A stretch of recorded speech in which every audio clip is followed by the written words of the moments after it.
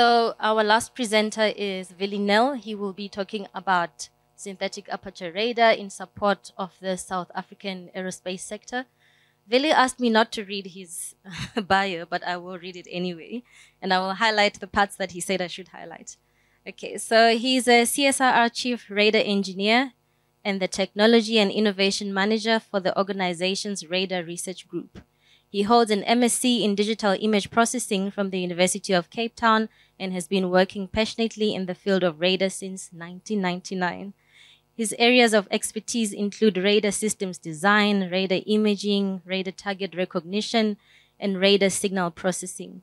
His current area of focus is the design and development of satellite and unmanned aerial vehicle synthetic aperture radar systems. He has published several papers in the areas of radar target recognition and radar imaging and acts as a reviewer for premier radar journals and conferences. He is a senior member of the IEEE and has been serving on the IEEE Radar Systems panel since 2016. He has also served on and chaired the IEEE Dennis J. Picard Medical Committee and has taken part in two NATO working groups. He is happily married and treasures spending time with his children. That's the only part he wanted you to remember that he's happily married and likes spending time with his children. Welcome, Willie. Thank you very much. Um, I think I'm not going to hide here in the shadows. I don't like hiding in the shadows. So if you can hear me and see me here, is it okay if I stand here with the camera? Okay, so I think um, thank you to both the previous speakers. I think you couldn't have set the stage for me any better. Even even if I wanted to do it myself, I wouldn't have been able to do it better. The first speaker basically showed us all the incredible impact that working in space can have in terms of all the things that happens in the ecosystem and all the companies that happens I was just last night at a opening function for a new facility of NewSpace Systems down in the Cape. Um, they basically have built a whole extra new building because they're manufacturing these components that, that she was talking about uh, and exporting them all out of the country for other missions all, all across the world. And basically, uh, what they, they now have like 18 engineers and 35 technicians working there. That's a company that back in 2015 didn't exist and is exporting high-tech stuff. So um, I think many other things, many other examples. Another example, um, and, and we, uh, I'll, I'll, highlight it because they're part of our presentation, Dragonfly Aerospace, they recently, as in Monday, shipped their next um, satellite out of the country to be launched. And um, there again, it's a company that uh, came out of SumbandilaSat effectively because they came out of Sunspace and uh, now with an international investor, they are actually creating a, an incredible um, new engineering team for satellite development in South Africa. Um, and again, I think they're, they're, they're, more than 30 engineers now working there already. And again, it's a, it's a place that 2010 didn't exist in our country. So, um, you know, the economic value of that is, is just um, clearly remarkable. Okay, so I'm going to be talking about one portion of that upstream synthetic aperture radar, and I think the second speaker then set the scene of one of the examples of why we want to have synthetic aperture radars. Um, okay, now is this going to work? Clearly not. Oh, there we go. Okay, and I think um, he already actually gave you the view of why SAR. So in the middle here, a picture by ICEYE. Um, I would probably have to call him my competitor because, but I know the guy that's there. um, PI or their principal researcher very well. Um, so he allowed me to do some of these things, use some of his videos. ICEYE is a company that's uh, producing a constellation of SAR satellites at present. I think they already have 14 SAR satellites up. And it shows you there in the middle, the idea is that SAR works day and night and in all weather. Um, and that's the big advantage. So you have a satellite that can image the Earth, and it doesn't matter even if there's a hurricane below you, you can still see what's going on on the surface of the Earth. Okay. Um, and the nice thing, it produces images of the land, not just of the sea. So you can see here a picture coming out of on the on the left-hand side, coming out of our own airborne synthetic aperture radar. This, I think, is like 40 centimeter resolution. Um, so is taken by an aircraft as you're flying past the area and allows you to see a whole lot of things that optically you can't. So the nice thing about SAR is we see things that complements what the optical guys are seeing. And um, yeah, maybe some things I can highlight. But the big thing is whenever you have man-made objects, you get a lot of bright scattering like that. So you can see in this area, man-made objects is all the bright stuff. You can see when there's farms and so forth, you see much darker scattering, but you see slight differences between the various farms and their scattering.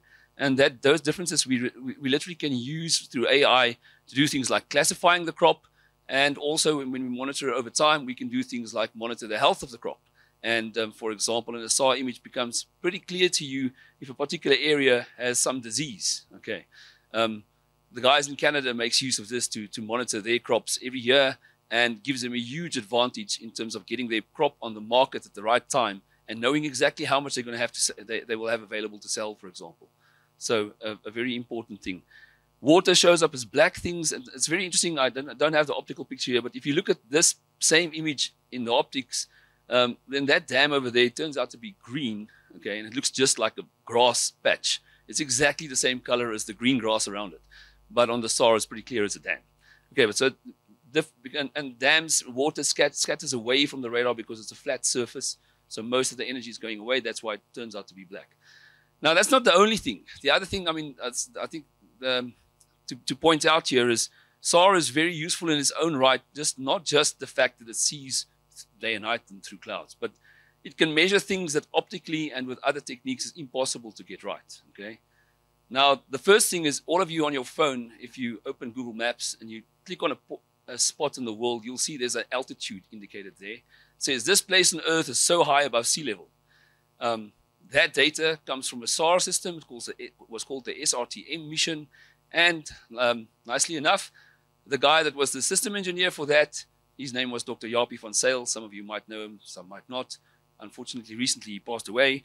He's a hero of many of our radar guys. He's a Namibian guy that did his um, first undergrad studies in Stellenbosch, went to the US and became uh, part of JPL, uh, ended up in the end of his career to be the director of space exploration. And what you have on your phone there is because Japie built a radar for the SRTM mission, the satellite radar topography mission. Okay. Um, and so that's one of the things that we do. How do we do that? They basically take um, multiple images from, from, from space, multiple receivers. Those receivers are measuring the distance very finely to wavelength accuracy to the ground. Okay.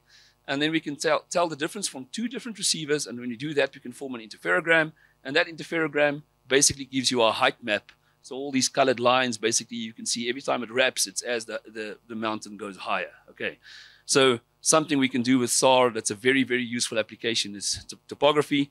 And of late, um, they do what's called differential um, interferometry. So now you take different interferometers over time and you compare that data and then you can do subsidence mapping. So now we can detect fine, very fine scale, like millimetric scale um, movement in the surface of the Earth. So obviously useful for things like earthquakes, um, useful for, and it would be useful, very, very useful for South Africa if we want to start monitoring all of our dams to see when the dam wall might actually start giving way. Okay, you can detect it because it's millimetric changes. You can detect it long before the actual an actual dam break event will happen. You will detect the subsidence.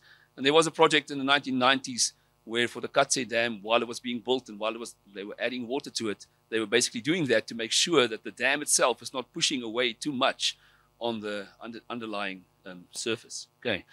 And another example I'll show, show over here just to show you the, the incredible things you can do. So imagine being like 40 kilometers away from some place. Okay. This is an airborne sensor. You're flying 40 kilometers away today, and tomorrow you fly the same path 40 kilometers away. You take two pictures, and when you look at them in the intensity, they look exactly the same. Now, this particular case, it's a um, credit to IMSAR, guys in the US that does this, this example. That's a sports field. And it happened that they did this specifically on that day to show that they can detect that the grass on the sports field is half getting cut. Okay? The black that you see there is the difference between the grass that's cut and the grass that's not cut. Okay? That they can detect that very, very long away. Like I'm saying, 40 kilometers, and, and, you can even do this from space. There's now examples where people doing this sort of thing called coherent change detection from space. Okay. Now imagine the other thing that they show you. There's quite a lot of other differences. So apart from the, you know, the, the straight amplitude differences you have here, because we measure phase, phase is say how many wavelengths do we fit in between us and the target? Okay. And, at C-band, for example, where we work, oftentimes 5.5 centimeter is one wavelength, and we can detect things maybe a 20th of the wavelength. So you're talking millimetric change differences. Now, what, what you see here also, for example, at the top there, um, you see a car there, and you see how it drove around the edge of that sports field. Literally, its tracks being left behind in the sand, detected by a radar from 40 kilometers away. Okay, the sort of things that you definitely will struggle to do um, optically. Okay, so some very interesting applications in the field of SAR. That's the wrong button. If we go the other way. Okay, so synthetic aperture radar now is growing. I mean, it used to be this technology. Uh, I think people were um, sort of alluding to it. We were making use of RADARSAT imagery and so forth from large corporations like Airbus and MDA, um, mostly accessible only to people uh, that was, you know, um, in big countries like the US, Japan, uh, maybe China. Uh, they all had SARs, and the rest of us had to pocket, you know, deep, dig deep in our pockets and pay them lots of money to get to a SAR image. Um, to, 10 years ago, such an image would cost you maybe 200,000 Rand for one image. Okay. that's changing uh, very, very fast, very rapidly now. So we are sitting in a world where, um, as you can see here, the number of SAR satellites is now exponentially increasing. Uh, the scale at the bottom is basically since 1978, 2018 over here.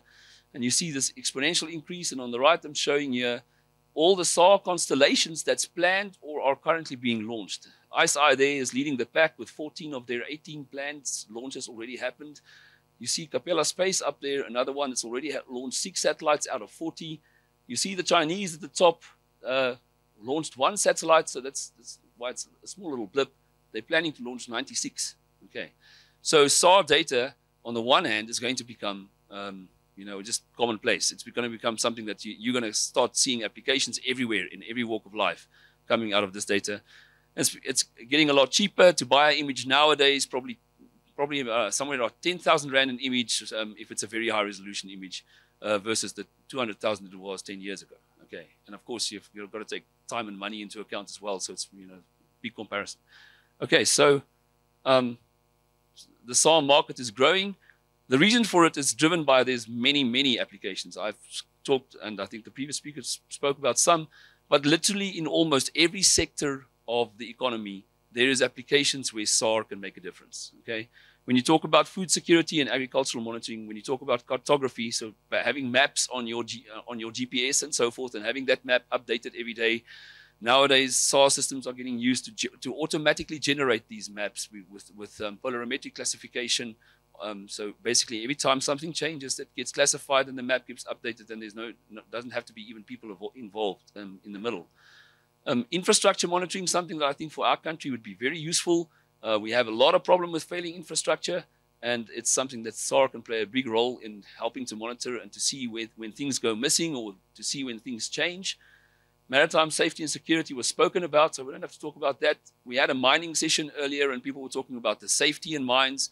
For opencast mines, a huge thing that you can do with SAR is this differential interferometry. And this is an example from Janine Engelbrecht's work here at the CSIR, where you detect the changes in a, in a slope and you can do slope stability monitoring. And over time, you can detect if something is going to go wrong. Okay. And with the cadence of satellites, with the, with the revisit rates going up higher with these constellations, you can get to the point where you can do this from space. You don't have to have a system on the mine that's in the way of the vehicles and might get run over and have lots of problems with dust and all of those sort of things.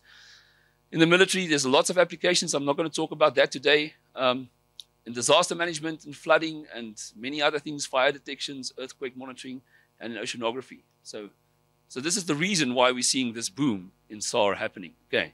So obviously that sketches the background of why would the CSIR be wanting to work in SAR, and particularly in the sensor itself, not just in the downstream using the sensor.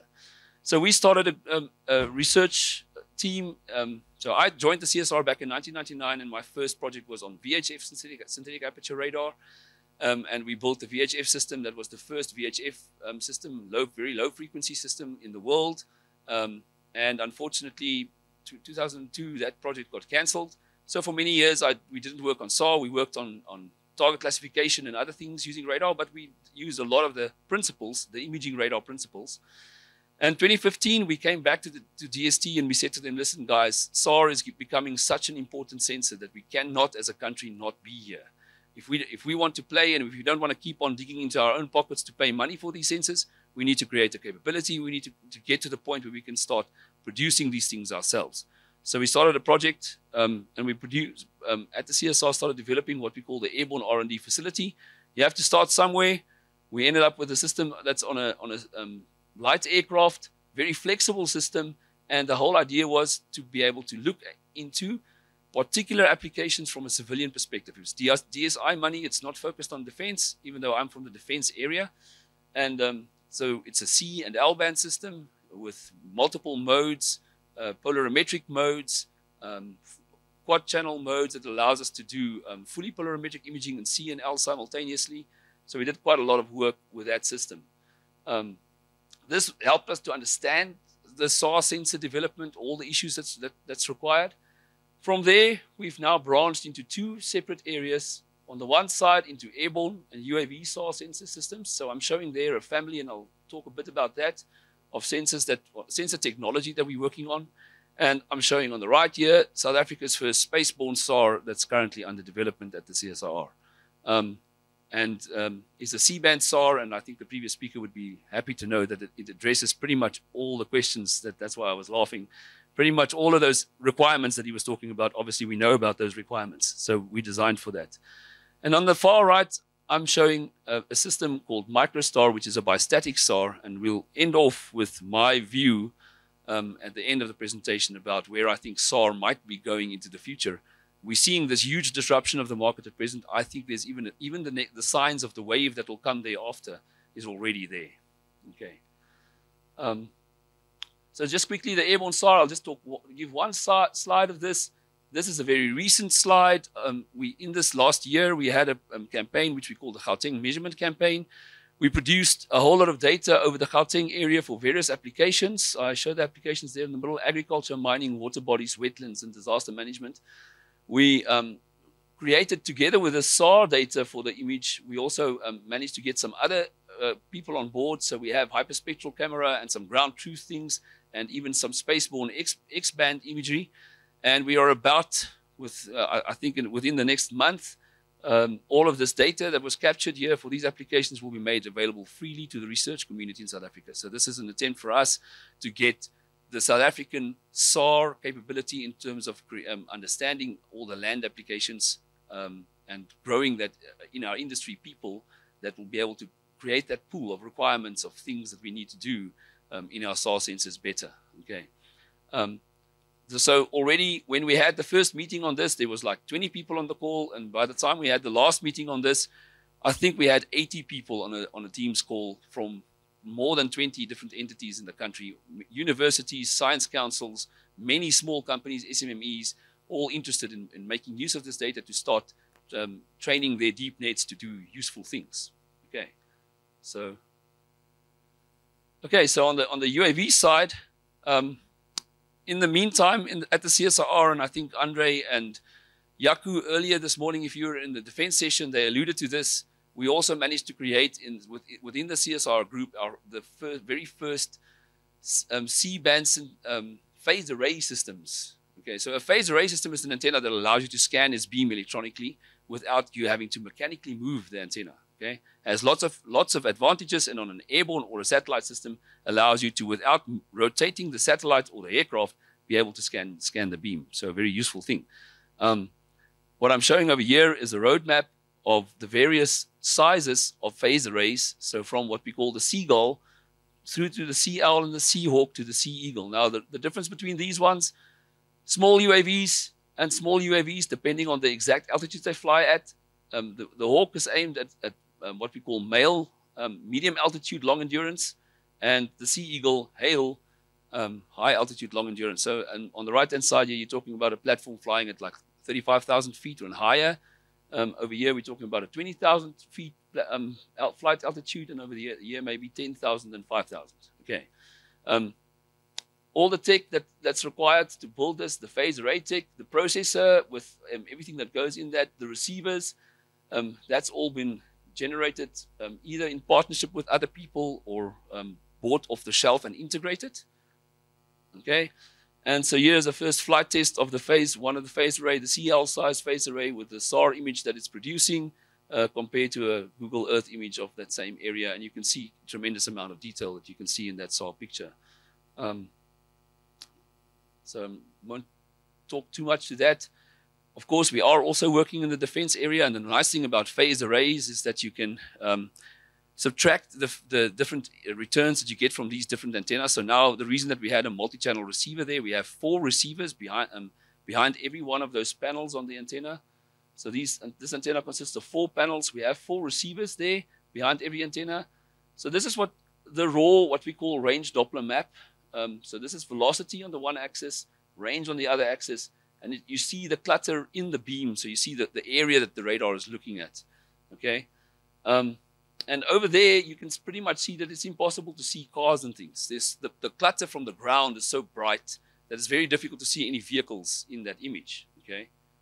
But if you, no, I might have to come this side for it to play. Let me just do that. Um, okay. Yeah, we'll, we'll wrap up. So over here, you see the, um, the, the little spots over there.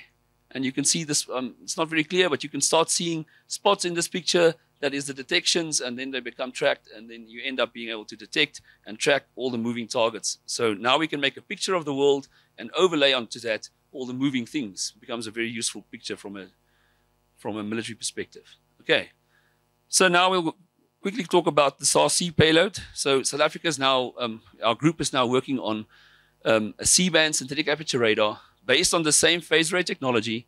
And it's um, the, the, the big thing about it, it was designed with all of these things in mind. So agriculture, mining, and coastal. Okay, It's a 5.5 square meter antenna that we're going to put into space based on software-defined components and designed in such a fashion that it is highly reliable. So, so because of the way that we build it, effectively it gets us to the point where it's more than, more than double redundant and therefore it would have an eight-year lifespan. And as you can see here by all the components, the way that it's manufactured, you see a lot of duplication of the same thing, which means it's highly manufacturable in the PC board industry in the country. So after we've basically developed one array like this, building the rest of the satellite um, of the payload becomes a cut and paste exercise, giving money to the industry. Okay. Um, I'm getting told that I have been too long. I'm pretty sure I'm not, haven't been longer than 20 minutes, but um, just quickly for the maritime guys. So you were seeing over there um, the swath. So we're talking more than 300 kilometer swath. And um, yeah, there's just some nice pictures that shows you how it was designed. Um, at the bottom there, you see it's been designed with, in partnership with two of the South African space companies, so Dragonfly and SES. And there's some pictures of how the technology, how we're getting to building the actual tech based on where we are. So obviously you don't build a payload in one go. So we're at the engineering model phase. We have already built smaller versions of the array. We flight tested this and we um, have created all the tech in terms of the receivers and so forth that has to go onto that panel to make it work.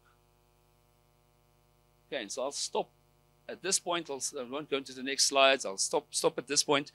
So lastly, I'll just say I mean, you've seen what the amazing things we can do with SAR. You've seen the, the sort of things that's happening in the world. You see how everything is rapidly expanding and growing, and soon SAR will be something that everybody of us um, is making use of in our daily lives.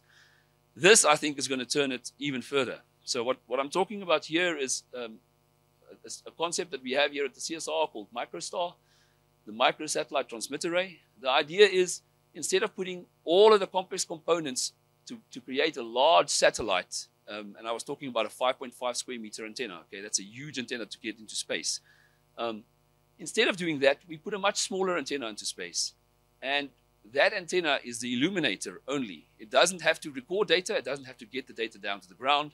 It means this this system, the satellite, basically becomes like a hundred times cheaper than this traditional SAR satellite. So for the same cost, we can now end up launching like a hundred of them so now we can have 100 transmitters going around the Earth, providing the illumination, and that's where the word microstar comes from. It's like a whole lot of small little stars giving us RF illumination that's the right kind for us to, to be able to do radar on the ground. And now, with receivers on the ground, either on towers or on airborne platforms, you can make SAR imagery right there where you need it. Okay?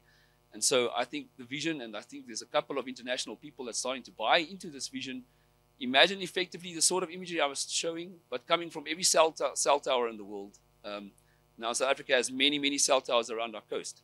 We want to be able to also detect the very small ships. Imagine every cell tower on, on, on around our coast is making a SAR picture every 15 minutes because we have 100 satellites, every 15 minutes of the first 40 kilometers off coast. And we can basically monitor not only the big things, but even the small things. That's just one application there is, I think on, on the side here, I list quite, quite many of them. That, I think, is the future where SARA is going. Thank you very much. Um, thank you very much, Willie. Um, unfortunately, we have run out of time and we will not be able to be taking any questions because the next session is already waiting for us. Um, but I would like to encourage every one of you who has questions to meet up with Willie, Ponzo, and Lizwe um, during the breaks. Thank you very much for attending the session.